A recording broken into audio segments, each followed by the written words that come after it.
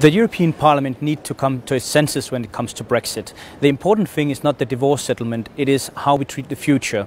From a Danish perspective, we would like to see uninterrupted trade with Britain, we would like to see security cooperation continuing. That's the important issue in Brexit, not punishment and not resentment.